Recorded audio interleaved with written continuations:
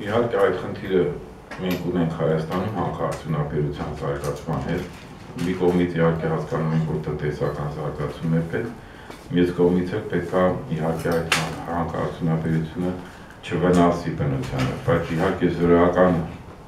վիճակ չի կարող լինել, բացը վնասը կա եւ մենք ունենք շատ վատ փորձ հանքարդյունաբերության առումով,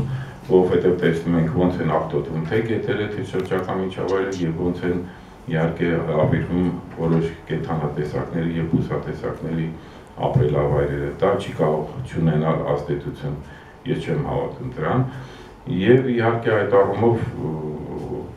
այսպես կոչված կայուն հանքարդյունաբերություն կամ պատասխանատու հանքարդյունաբերության մոդելը պետք է կիրառվի Հայաստանում,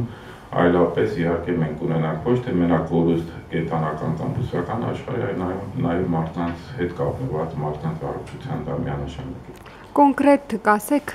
ինչպես է վնասում կենթանիների միգրացիա տեղի է ունենում, թե ոչ դրա հետևանքով։ Օրինակ կոնկրետ նոր